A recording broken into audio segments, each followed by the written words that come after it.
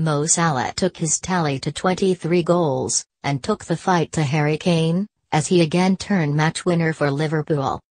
The little Egyptian struck twice in the second half to rouse the Reds and see off a spirited Leicester, after the visitors had led through an early Jamie Vardy goal, following another defensive lapse. It means Salah is just one behind Spurs star Kane in the goal-scoring charts in all competitions, and also a trails the England man by a single strike in the Premier League too. And how the Reds needed their talisman. Salah himself missed a first-half hat-trick of chances as the home side struggled to find the net, despite dominating the contest. But he ran onto a brilliant Sadio Mane back heel to level, and then turned the unfortunate Harry Maguire to secure a superb winner. Here are five talking points from Anfield. It took Liverpool three minutes to confirm they would be ending 2017 just as they had started it. Dot dot dot with doubts about their defending. Or rather, doubts about their concentration whilst defending. A sloppy ball from Joel Matip, sluggish reactions from Emre Can, and Leicester were ahead. Liverpool had only conceded three Anfield goals in 10 league games this season before this game, which shows they can defend. But these lapses can be so costly. The arrival of Virgil van Dijk will no doubt help, but fans must not expect him to be a heal-all cure. The lack of concentration and ruthless instinct runs throughout this Liverpool team. Take Mo Salah, he scored a woe-fine goals again, to win the match and prove he is an outstanding finisher. Yet, and it is almost churlish to say this, before then, he missed three absolute sitters. His record this season shows how good he is in front of goal, but sometimes he is simply too casual, as are his front-line colleagues.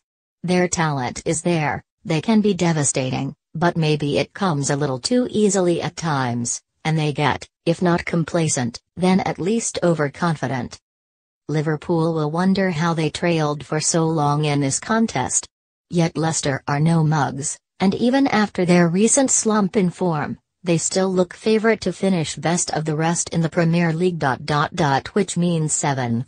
They have a strong defence still, pace out wide and in Jamie Vardy a real finisher. Under Claude Puel they are also playing better football than for some time. They are still missing N'Golo Kanté badly, but if they can find a midfield enforcer in January, they could claim a European place. Europe has to be Liverpool's primary target for the rest of this campaign.